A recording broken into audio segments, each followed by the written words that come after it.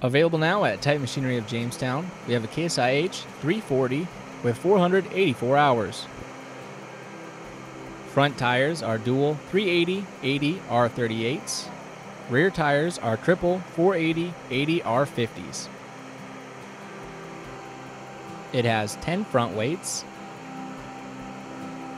It is equipped with GPS navigation.